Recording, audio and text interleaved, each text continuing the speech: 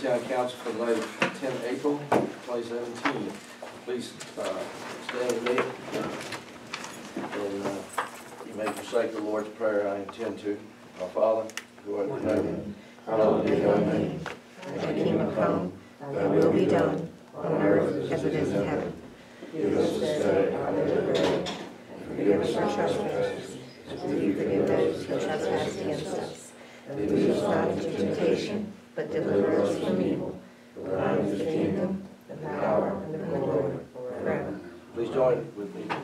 Pledge. I pledge Allegiance to the flag of the United States of America, and to the republic for which it stands, one nation, under God, indivisible, with liberty and justice for all. You may be seated. Uh, We've asked Senator Frank and Delegate Wright uh, to attend the meeting tonight to give us and the public an update on the General Assembly, and we want to welcome them to Crewe. I know they're here often uh, anyways, but uh, not always in a in a formal capacity, I guess, but but uh, we we really appreciate your work in Richmond and your work in in the district, and uh, we give you the floor. Whoever wants to go first. Okay. I asked Frank if I could go first, because he always, he always grabs the cleanup and catches all the things I miss. Uh, first, I want to say that I appreciate the way y'all start your meetings. In the General Assembly, one thing different we do is, we uh, have the prayer first, and then the pledge. Mhm. Now, this is what y'all do now. That is it. Yeah. We, yeah, we do the, the- the prayer and the pledge. God before the country. And I think that is something that is, is, uh, very important, and I'm glad to see that this, town council still does that. Um, There's a few things I want to mention tonight about the, about the, uh, General Assembly session, and as usual, the main thing is the budget. This is the third year in a row that we have, we've had a balanced budget with no tax increases or no, or- and no fee increases, and we finished on time. So that's something I think that, that, you know, speaks well for the state of Virginia, the Commonwealth of Virginia. We have a constitutional amendment that says we have to have a balanced budget, and I think the federal government would be, operate a lot smoother and have a lot less contention if they operate by the same thing. Some of our priorities included uh, salary increases. The state employees hadn't had a salary increase in a very, a very good, good while, they got three percent increase. Uh, The sheriff's deputies and the state supported local employees got a two percent increase. Uh, Our state police, those of you who may have been following that situation, they were in a very, uh, precarious situation. They, they were not only unable to recruit, uh, they were unable to retain the people that they had. They were losing them to, to uh, localities that, that could pay them more uh, in some positions than they were making in the, the state police. And of course, the Capitol Police, for those of you who've been to Richmond, uh, to the Capitol, know outstanding job that is. That's a very professional police force too. So they were included, included in the raise. Um, We're glad that we was able to give the, the sheriff's deputies a raise too, because they, they do a very good job at, uh, at, at very, not very uh, high pay. Uh, we also were able to give, uh, the state portion of the, the teacher's two percent, that's effective in February two thousand eighteen. And the other thing we did, um, that was not in the introduced budget was a request from the constitutional officers. Uh, it's a career, what they call a CDP, it's a career development program. And that helps them have trained and, and, uh, uh, highly trained people, uh, that can take over for them if something happens and, and, uh, they can better serve the public. So that, that's some of the things that, that, uh, that, that took, place as far as, as the budget was concerned. And then too, um, there's a couple of items that, that, the town and the, the, uh, the county they asked me to work on, being frank. One of them was a budget amendment for Piedmont Regional Jail. And there was a, a study done by the Department of Corrections, and they identified the need for forty-four additional employees. Uh, one point two million dollars was the amount. And, uh, the Department of Corrections did the study, and the, uh, the Workers' Compensation Board was behind it. They helped draft the amendment, but it didn't pass. And I didn't, didn't like that, but I didn't feel quite as bad when I realized that the, that the chairman of appropriations had a, uh, also have regional jail in his area, which, uh, they needed funding. Similar situation, so, um, that was one thing that I was sorry happened. Another thing was, uh, Frank and I both put in the request for jail study for the lottery. Uh, we've been talking about five percent of that going, uh, to the localities. And, um, uh, unfortunately, um, uh, the, the reason given was that they just had all the studies they could, they could handle. So we'll have to see and what, what, uh, path we take next year and so forth. And, I know that, a lot of the localities in this area have supported that, on the councils and, and boards of supervisors and so forth. So I wanted to tell you about those, those things. Another thing, uh, I had a request from the mayor to put in a, a bill that, uh, concerning, uh, park rangers. Uh, and they're the ones that, that carry firearms. Now, uh, Right, law enforcement. Yes, that's right, law enforcement part of it. Um, When the bill was written last year, we thought we'd covered everybody. But that was one, we might find somebody else that we want to look. But we left them out, and I'm glad you caught that, because, you know, uh, those uh, employees also encounter situations in in which they have to deal with people that uh, they may not want to, uh, after their retirement, meet on the street without having some protection. And this allows them to be able to, to, uh, to carry a, a weapon after they retire. And, uh, I think it's ten years that has to have to serve before they can do that. So that was a good idea and, uh, and, it, it passed. Um, Another thing that I want, I'll touch on, you know, it's, it's called veto session that we just finished. And I was talking, um, with Phil, um, before we came in, thought that was a very appropriate name for the session this year. And I just want to mention a few bills that, you know, passed by both houses and, and were very good bills that, that were vetoed. And in order to override a veto, you have to have two-thirds of each house. Well, we don't have that in each house to be able to overturn a veto, so the, the governor made a statement that, uh, you know, that he was gonna have, well, he might not, might not have made a statement, but it was a fact that he had more vetoes than the other governor. And none of his ever been overturned. And, uh, I'll give you an example of one. Um, House Bill fourteen twenty-eight required that, that voters submitting an absentee ballot had to have some proof of identification, a photo ID. When you go to the polls to vote in person, you've got to have that. So that was a little loophole in the law, and that was, that was one that was vetoed. So now, a person can send in an absentee ballot and have any proof of who they actually are. Um, another one is, uh, eighteen fifty-two. Um, and, you know, we hear a lot about, uh, domestic abuse and, and so forth, and, and, um, when, uh, a person, most time, the, the, uh, the woman in the, in the house is uh, physically abused or, uh, domestic violence, uh, she'll be, be given a, a, a uh, protective order by a judge. And so, the legislation that we passed in both houses said that, when, a, uh, didn't say, didn't say it was a man or woman, but it would apply to women most of the time. Whenever they were under a protective order, or had a protective order issued by a judge against someone else, that they could carry a concealed weapon. And they had forty-five days to, to get the training to be issued a permit. But that's some of the most dangerous time, is right at the time that protective order is issued. And so that was something we thought was a very good idea, it was something we could do to help victims of crime, and that was, that was vetoed. Um, Another piece of legislation said that uh, no locality could adopt an ordinance procedural policy that restricts the enforcement of federal immigration laws. Now, we see what's going on across the country, and that's, that sounds like a pretty good idea, you know. Uh, if it's, if it's the law, then, uh, it should be enforced, and we some areas aren't doing that, and that was vetoed. Um, the, another one, and it was known as the religious liberty law, uh, this House Bill, uh, twenty twenty-five, basically says that a pastor, um, cannot be forced to marry people, uh, that would be against, um, his strongly held religious beliefs. And that would boil down to not having to marry, uh, same-sex, uh, couples. And also that religious charities would not be subjected to policies that would be against their religious, strongly held positions. Now, one of those examples would be Hobby Lobby. You all remember that, the discussion about that. Little Sisters of the Poor, that was a Catholic organization that went through some of the same things. So that was, that was uh, vetoed as well. Uh, Another one um, is uh, House Bill uh, 2191, and that bill would simply uh, require schools to notify parents if their child is enrolled in a course in which the instructional material or related activities could include sexually explicit content. Now, the only thing that would happen would be to give the, the, the the parent uh, an, an option for something that would be uh, comparable, but not quite as graphic.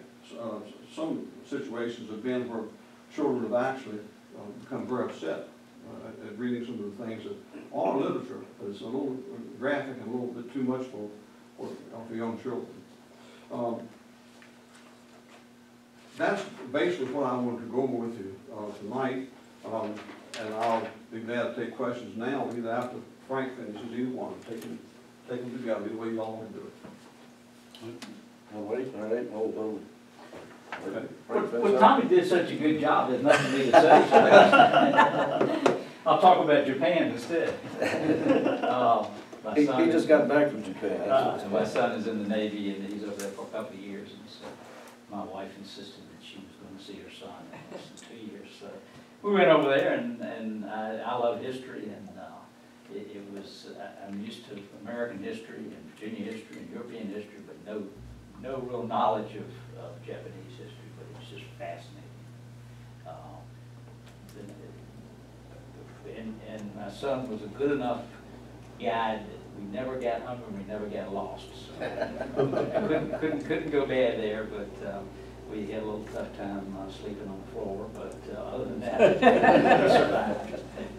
Uh, Tommy did do a good job. I, I'll, I'll mention the budget again. We had to cut one point two billion dollars out.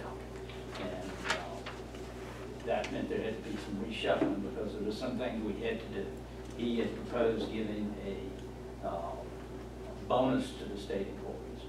Uh, What happens there is that does not build up their retirement at all.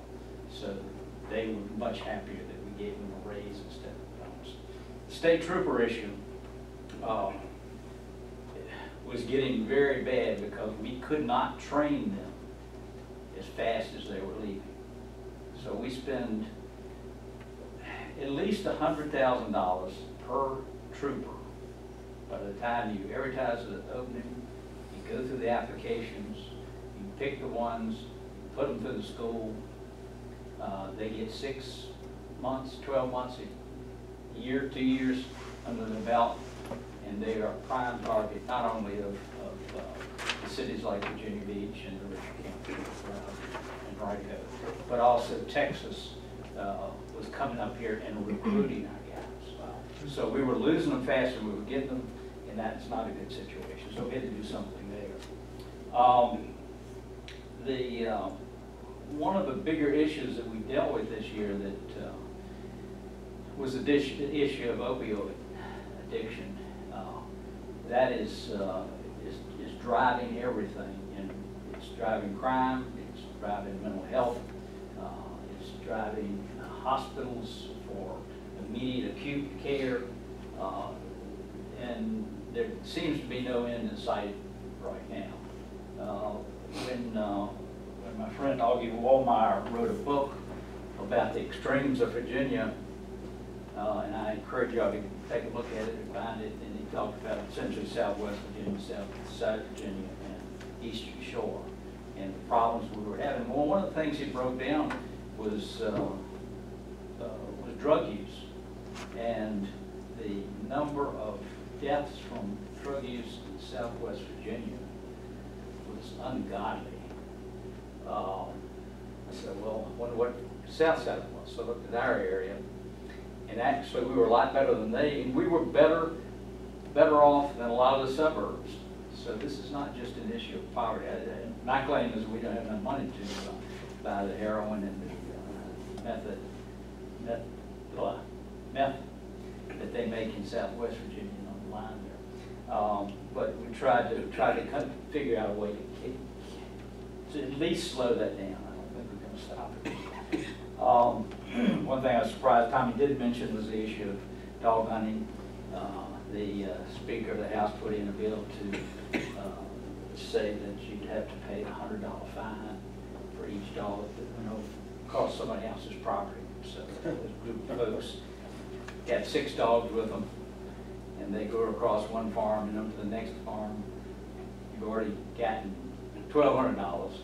Then you go get them and you bring them back, that's another twelve hundred dollars. So you'd be in, um, it wouldn't take long to get do away with dog hunting at that rate. So uh, luckily, the House stopped that before we got to see it. Um, The, uh, in the veto session, one of the bills that uh, friend Richard Stuart from up at Fredericksburg area had was that he had found out that um, the state of Maryland is getting the list of um,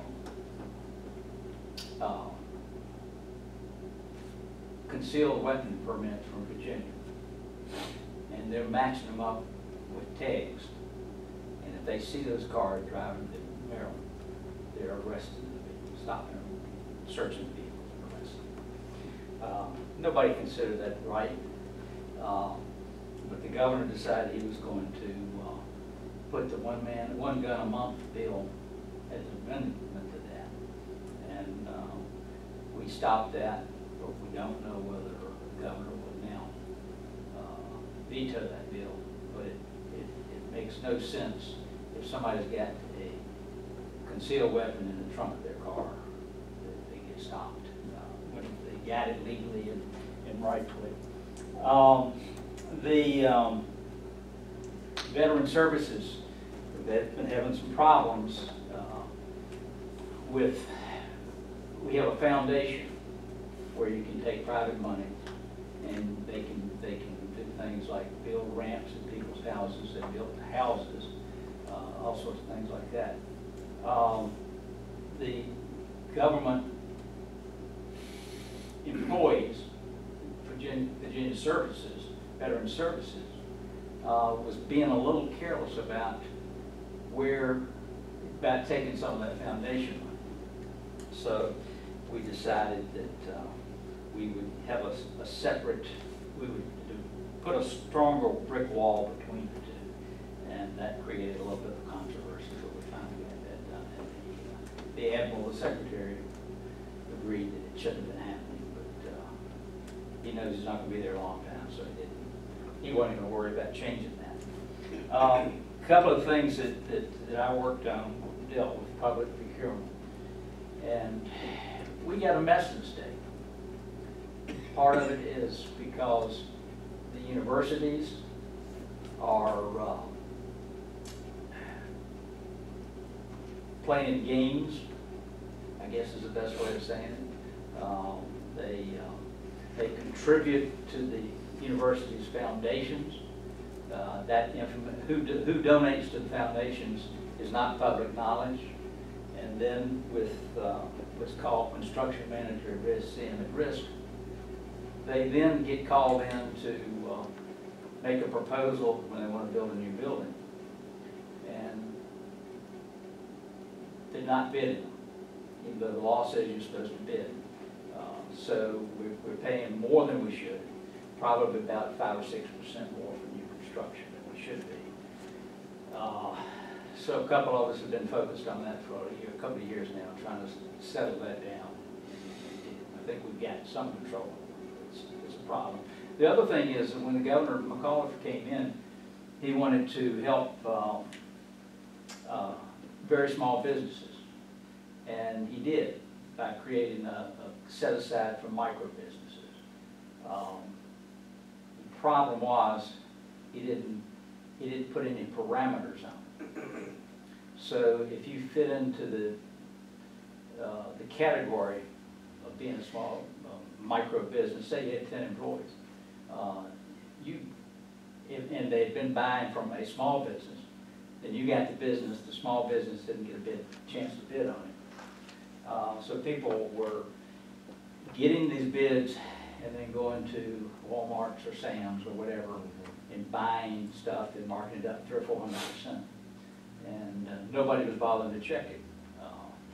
So we, we, we, we limited to the, the small business, the micro business can get a five percent markup above the next competing bid, which is fair, gives, gives them a chance to start, but it does not give away the taxpayers' money. So we, uh, I was surprised the governor didn't veto that, I think he just missed it, but, uh, that uh, was that one. The, the other big thing was the, uh, the issue of the Economic Development Partnership. I guess everybody read about what happened in Appomattox a year or two ago when uh, they uh, were trying to recruit business and somehow one point four million dollars got out the door. Well, when we started checking, we realized that there was not much check and balance in that system. So we negotiated back and forth with the House for most of the session, I think it was the last bill that passed. Um, We, we finally came to terms so that uh, we have more control over it. We've got, uh, we, we we essentially eliminated the board and want to bring back the ones that had proven themselves to, that they were actually working and doing what they were supposed to be doing. Um, But those, those checks and balances mean that General Assembly will know what's happening, um, and, and stop it before it gets too far. Putting, putting an internal auditor that speaks, that, that reports to the General Assembly, to the governor, and to the board, not to the, uh, not to the manager. That was the problem. The manager was getting all the information, the board was coming in, having a nice lunch, and going home, and being told everything's right, they weren't doing their big responsibility.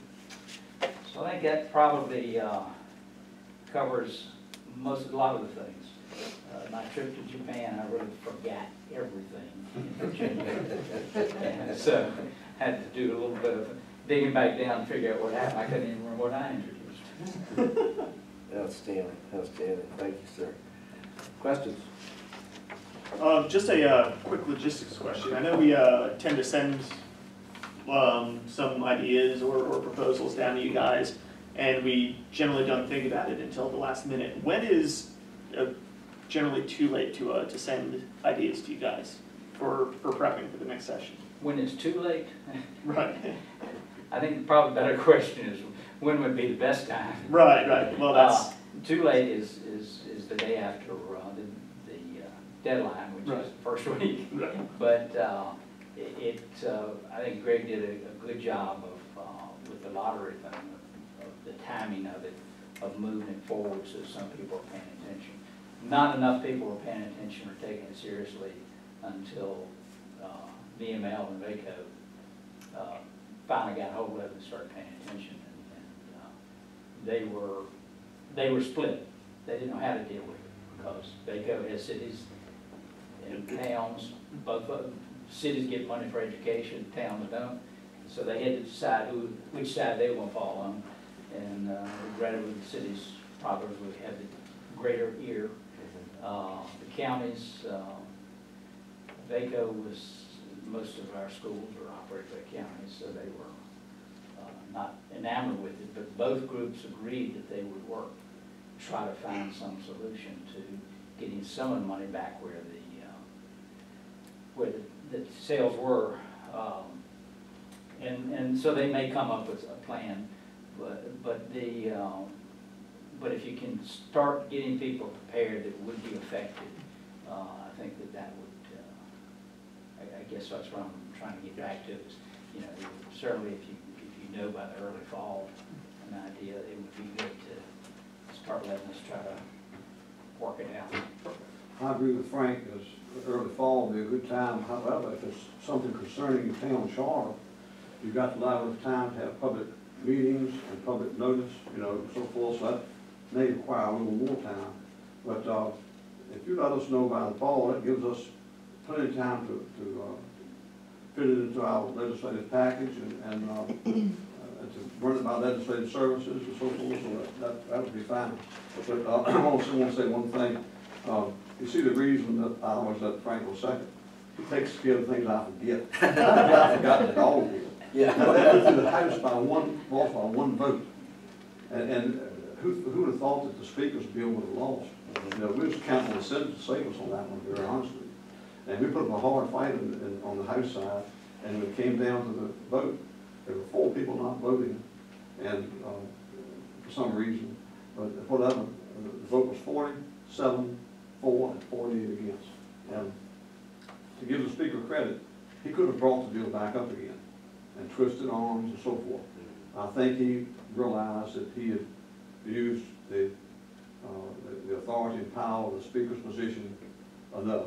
And, as- you know, the speaker carries an awful lot of weight. He, the person assigns legislation to committees, assigns people to committees, and so forth. So, um, and then too, you know, he has resigned, uh, or stepping down, uh, won't run again, and so that- that's gonna, uh, that's gonna be a big void to fill, because he's done an outstanding job. He's- He's been, um, spoken of by both sides as being very fair. Can we infer that Delegate Cox will be the next man in line, Yeah, then to be the speaker?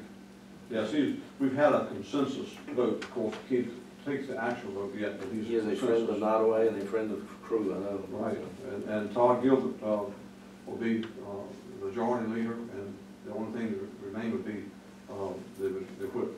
Okay. So we're very, very pleased to have good leadership in position and so forth. But I appreciate Frank for bringing the things that I did forget. Mr. Abel, any questions? No, other than tell Frank, we got it down here too. Hmm. Yeah. Nothing heroin, it's, it's around. Let me say one thing about Our, that. our, our, our numbers were higher on, on marijuana than other parts of the state, but I think it, it really does do with money, but yeah, there, Oh, there, it's methods here. all over the place. My little town, I see it. You know, but one thing people may not realize is a lot of the drug crisis today is not from what you would consider to be drug addicts. It's from people who were on, uh, pain medications. And, and that, that's one thing that we were trying to crack down on, is reduce the number of, of, uh, instances where these real strong pain, pain medications have to be given.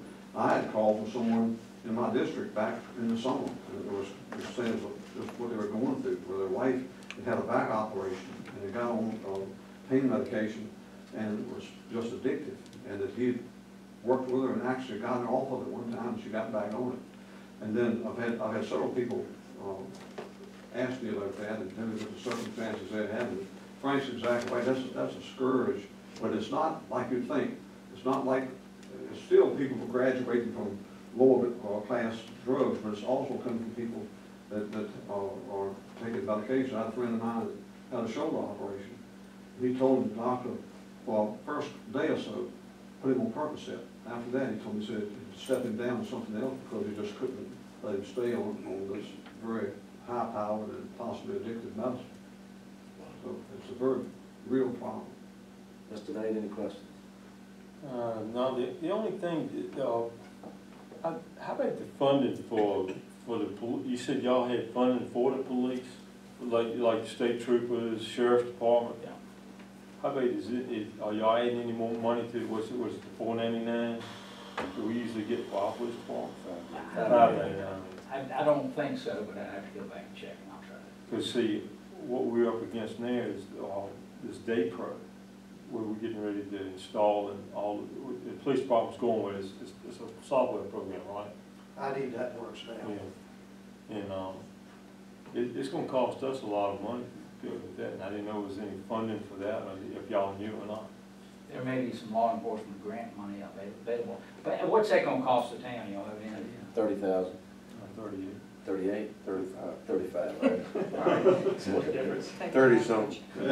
Between thirty and It's a thirty-eight. nice chunk of change, I can tell you that. Uh, but they say we have to have it, uh, to be networked into the, uh, state police and so forth. I don't recall that issue being a part of the budget, but certainly something we may have to consider next year. Ms. Stinson, Thank you for coming. Mr. Foss, Thank you for coming. Mr. Walker, I'd like to just add, I, I appreciate the opportunity to be here tonight, Frank and I, and, uh, they're always willing to come and answer questions, and if there's ever anything that, uh, we can do for you, be sure, either call or come by or whatever, just let us know, the door's always open. what can we do to help you serve our people? We're all after the same thing, We take care of the folks. Well, just, just keep folks going straight, so we don't have to spend so much money on law enforcement. Okay, that works, that works. Does anybody in the audience have any questions they would like to address to our representatives? Very well. Gentlemen, thank you. Thank you. All right, Thank you. appreciate it. Thank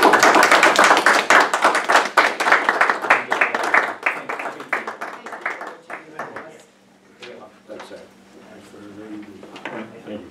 Thank you, Frank, I didn't see you. Sir, yeah, good to see you. We'll see you at the chicken festival, right? Yeah. Yeah. Thank you.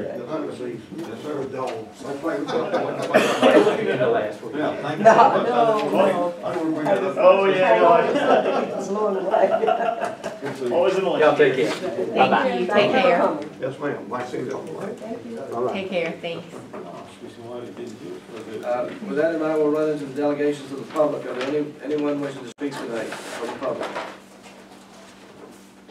Seeing no one wishing to speak, we'll move to the consent calendar. Matters on the consent calendar are considered routine and will be approved by one motion. Any item to be removed from the calendar at the request of a member of council. It may be voted on separately. We have the minutes of the town council meeting held on the thirteenth of March. You have the bill sheet, and then you have the additions that were just handed out to you.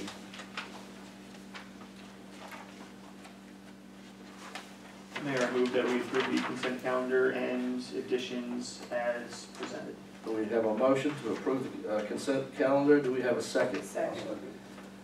We have a second. All in favor, say aye. Aye. All opposed by like sign.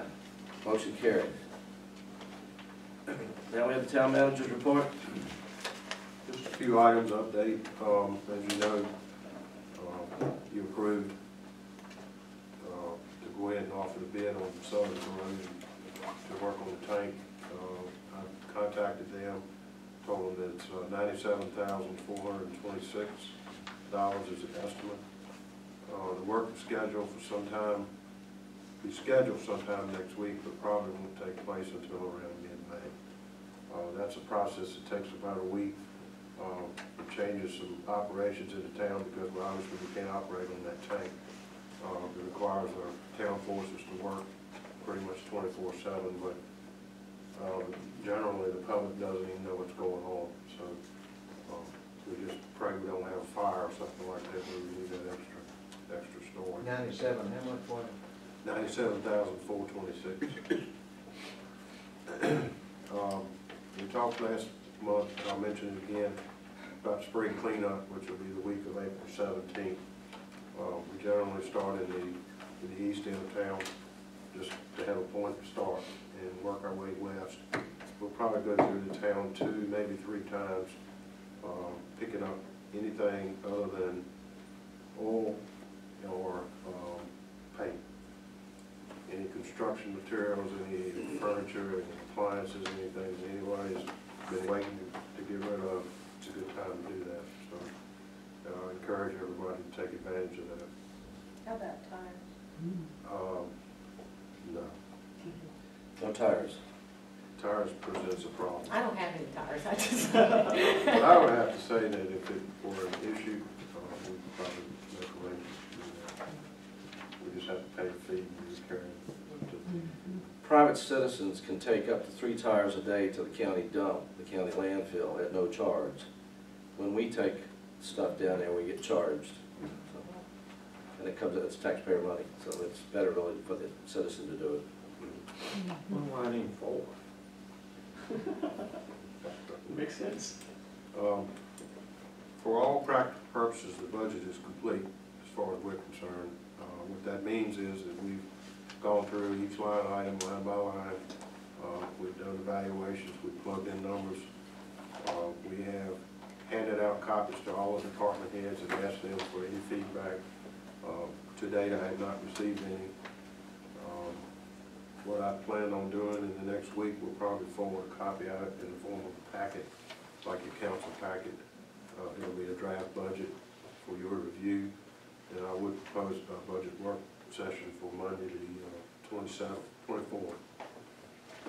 I said at seven, but we can do it at any particular time. Sometimes we start early because it's a, it's not a regular meeting. Uh, Six o'clock sometimes is where I think. I'm flexible that day. It it doesn't matter. I uh, I'm very flexible that day. If we want to do it in the afternoon, that's, uh, What day was that? uh, the twenty-fourth. When, um, what I hope to do is go through there and, um, the, the budget is balanced right now. There was a certain amount of overage, which is a good thing. We took that overage and we placed it in the sewer rehabilitation fund, uh, for the west end, but there is room to play with, if you, if you will, because I know some of y'all may have some things that you want, that you want to bring up, but, uh, as it sits right now, give or take, it's balanced. I think we've got a couple of little things that keep showing up, but, um, I want to thank Tiffany for the work she's done on it.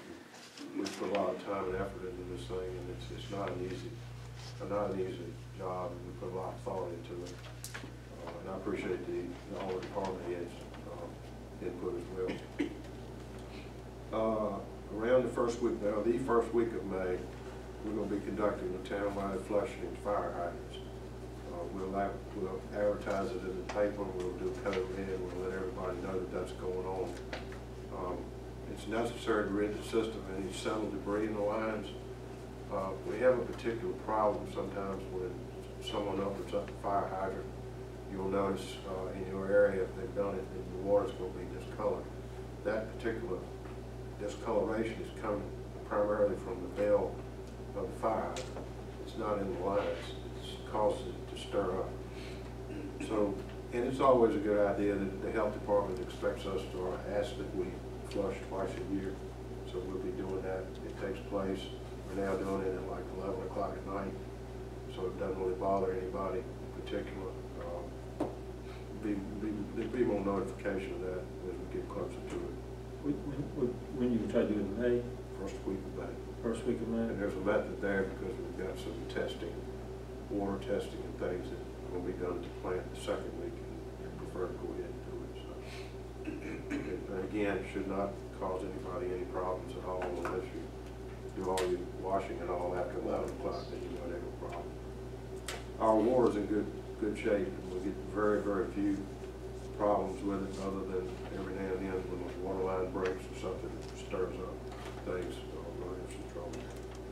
Um, The only other thing, I, we've got several spring projects, but I wanted to let y'all know, one of them includes road repairs.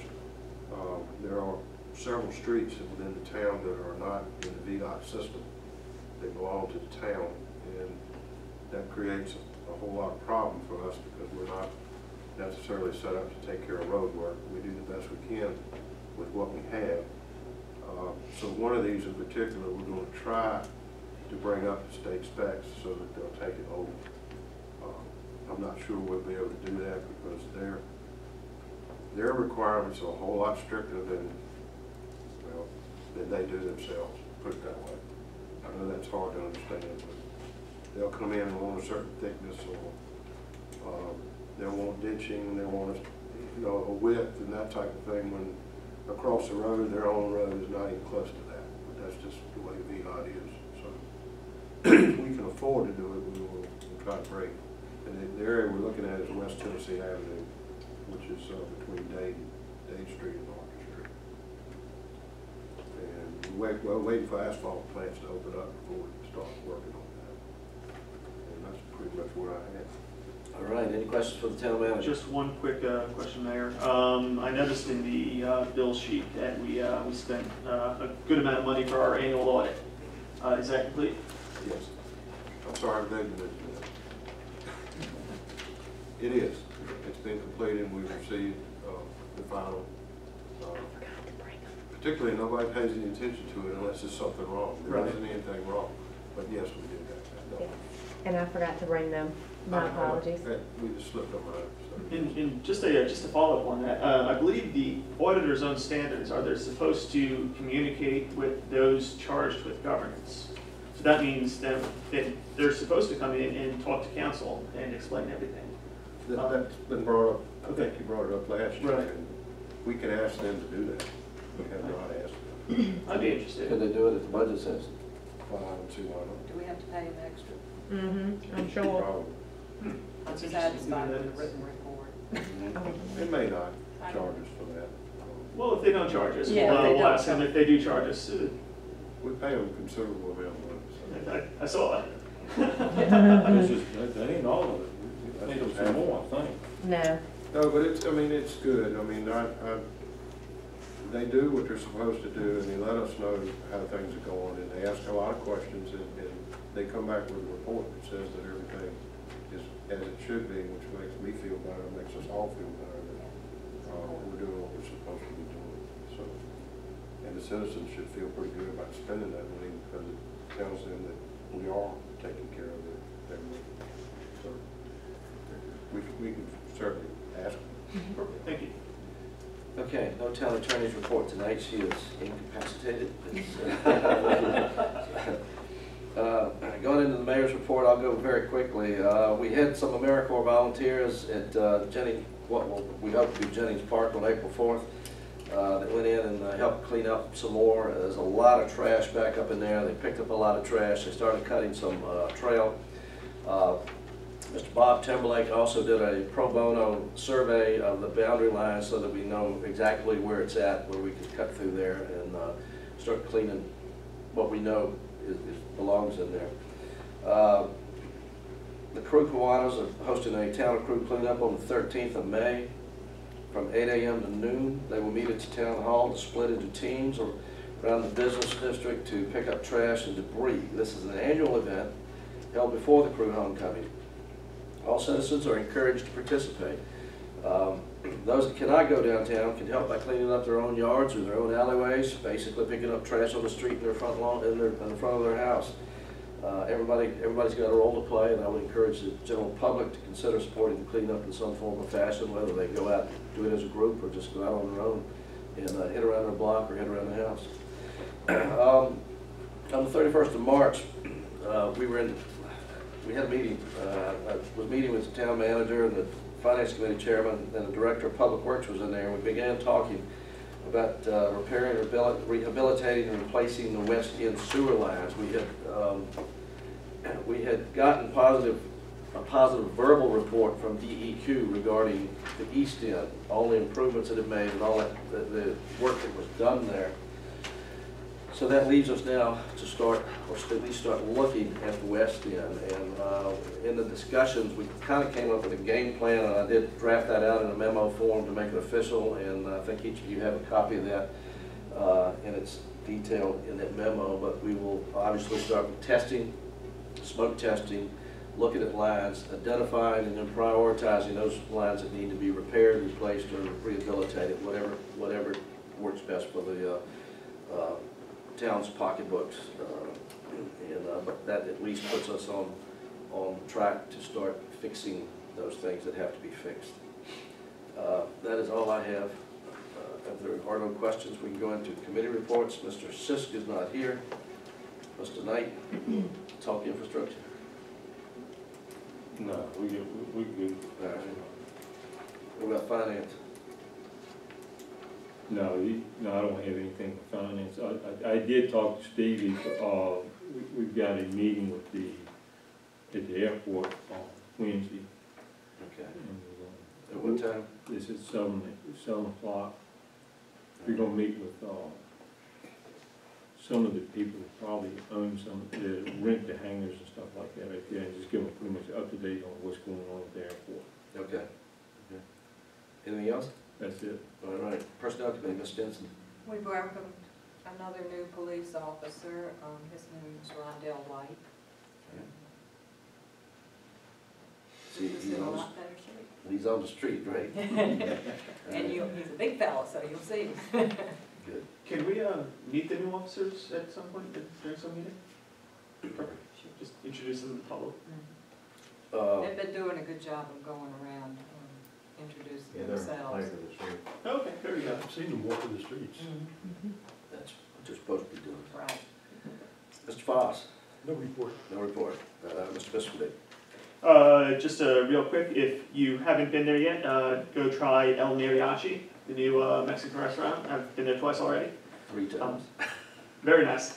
I, uh, in fact, I, I went out, uh, I walked from my house there, uh, Friday night, um, for a couple of reasons. Well, to, to get up my steps, to, uh, uh, I, I also plan on getting, um, trying their uh, tequila selection, uh, and didn't want to drive back. Uh, unfortunately, I don't believe they have their ABC license yet. So you were able to walk back. Right, so, so, so I walked back, um, I, I, I also looked at the uh, walkability at the town, and that's something for another budget, uh, cycle. Um, uh, other than that, uh, just try them out and, uh, be sure to go to not only them, but all of our uh, local restaurants and and businesses. Outstanding, thanks, sir. Uh, continuing business, the proposed sign ordinance, I don't know if infrastructure committee's had a chance to Uh, they have not yet. Okay, and then uh, the video upgrades, uh, I don't think the finance committee's had a chance to meet. Yeah, well, we, we, we talked about it, and, uh, pretty much, it, we, we'll, we'll talk more about it in the, Budget session. in the budget session, but right now, we feel like this is something we know, we don't need to spend that much money on. Plus, I've, I've actually talked to people that, that I thought that were really, you know, computer savvy or whatever you call it, and they said that they would not, they said they, it's, it's, they, they would not use it probably. Well, it's more of an, if you build it, they will come. Mhm. We'll, we'll talk during the, uh, during the budget session. Okay. Uh, Any new business? Um, I did have a piece of old, uh, continuing business, I'm sorry. Okay, go ahead. Um, was there any update on the, um, animal ordinance? Yes, we have, we have that, but uh, Aaron Reed got some feedback from a citizen, and and, uh, he's down with a bug Oh, this gotcha, week, so yeah, we it's haven't really had a around. chance to work that into the verbiage and and place it before council. So part of that's on me, I've been pretty busy, and I I kind of do a lot of administrative stuff, so. um, But that will be, that's not a dead issue by any means, that, that will be addressed. And then if there's another continuing business, I do have two pieces of, uh, new business. Go ahead. Um, I was surprised when I opened the uh, Blackstone paper, uh, this week and saw that they're, um, that the county's, uh, looking at doubling our, um, dispatching rates. Mhm. Um, I don't, I, I, believe we don't currently have a written MOU with the, with the county for that. So I'd like to see if we can maybe set up a, some kind of committee to explore various options, either creating an MOU with the county, or um, MOA with the county, or to even look at other opportunities for, for dispatching, maybe, um, collaborate with Blackstone and Burkeville and not the county, and just look at the, the various options that we have, um, for dispatching. Well, this, if we go out, and I'm just throwing this out, because I'm old enough to remember this, and I know Billy is too, but back in the old days, we had our own dispatcher. And part of the problem though is that Crewe Burkeville, uh, well, Crewe handled Burkeville, but, but Crewe and Blackstone had their own dispatch. And it was really costing them more money and it did better for the taxpayer in the long run to go with the county and let the county be the central uh, dispatching. Sure. But at the same time, um, uh, in addition to payrolls, uh, at the same time, everybody eventually got on the same radio frequencies, I think, is that right? Blackstone's on a different. They're still on a different They frequency. still monitor that too, though. Don't they still monitor the Nottingham channel? Yes. I do, I don't know what they do. We can ask, I don't, I don't know, what I don't know what the current agreement is, I don't know how, it- I don't, I mean, I'm not up on that aspect of it, but it- it's got to be for Right, I, I, I guess my concern is just that, I, I, I don't know enough about the situation. When I see in the paper that our rates are being doubled, and we really don't have any say in it because dispatching something, it's an essential service, and we Sure. can't just walk away from it. Uh, I'd like to explore all of our options, Sure. uh, and forming some sort of exploratory committee Mhm. to achieve that. Well, let's, let's just do some basic fact finding first, uh, before we organize the committees, I, what I would suggest is that we get some, uh, get basically, do a cost benefit analysis, identifying how many people you'd have to have, identifying what payroll would be, identifying, you know, benefits and all of that. And, uh, and then we have to really ascertain whether Blackstone would be even interested in doing it. Right, Uh, and, uh, my guess is in the long run, it's gonna be cheaper than just. right, and, and, and and I'm not saying go with any one specific option, I'm just, I just threw out a few suggestions. Um, I, I, but I think the, uh, at the bare minimum, if we do continue with the county, that we need a written MOA so that they can't, uh, double our rates next year as well. Okay.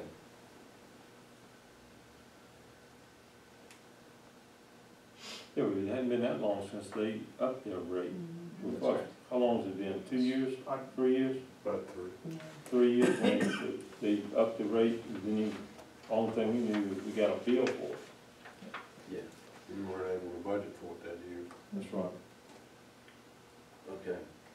We'll engage and, uh, do some fact finding and put it on paper. That way everybody's got it on paper and we can digest. What was the other item? Oh, the other item, um, I was in a, in the town office reading through, uh, old minutes, um, today.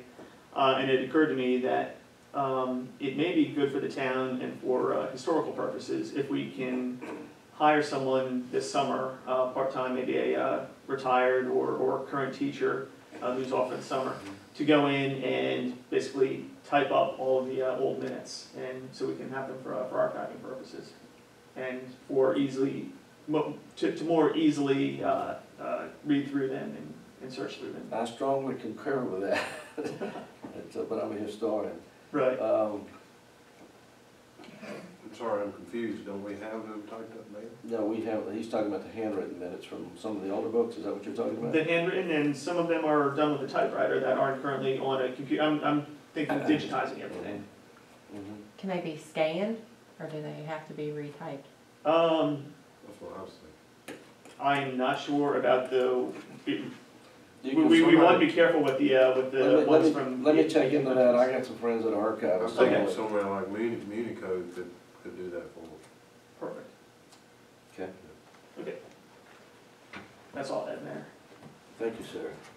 You were bored, weren't you? Actually, you know, it, it gets really interesting when you uh, read some of those. Yeah, Oh, well, I-. I was reading nineteen eighty today, that was a fun year. Oh, yeah. Nineteen Some of us remember. You- you were- That's what the Bob Murray days. Yeah. At this time, we're going to the points of personal privilege. Mr. Foss, anything? Ms. Stetson? Mr. Knight? No, no. Mr. Abel? Feels like Repco needs to be notified about streetlights. There's still a pile on. Betco? Whoever it is runs them. Dominion, Dominion Power. Okay, I know that. Uh, just a couple things, uh, we're, we're continuing on our, uh, Piedmont Out Walking, uh, competition, uh, it seems to be, uh, going really well. Um, just keep up your, uh, your steps, and, uh, we'll go with that. We should have been walking instead of reading minutes. We, we should have, huh? yeah, I should have. Yeah, I'm, I'm, I'm I'm a little, uh, little, little down today. Um, this weekend, uh, if everyone would, uh, would just, uh, take it some time to, uh, to remember, uh, remember, it's the ten-year anniversary of the, uh, massacre at uh, Virginia Tech. So just take some time this weekend, but on Sunday, Easter Sunday, actually, is the, uh, is the anniversary date. So just, uh, remember that, and happy Easter. All right. Thank you. Don't I have any, Sir, I don't have full privilege. you go ahead. I just want to mention something. I- I witnessed something yesterday. Um, It got me thinking about life in general, and we have things like that happen every now and then. Um, Good friend of mine's house burned up yesterday, and I happened to be coming by when it was burning. And what I'm trying to say is it makes you think just for a second how quick life can change. And the things that we toil over are not really that important in the grand scheme of things. And it keeps, keeps me grounded to see something like that. Um, I feel sorry for them, I, I wish there was more I could do. It's, it's heartbreaking, it really is. Who was it? Uh, Kenneth Preston. Oh, my gosh.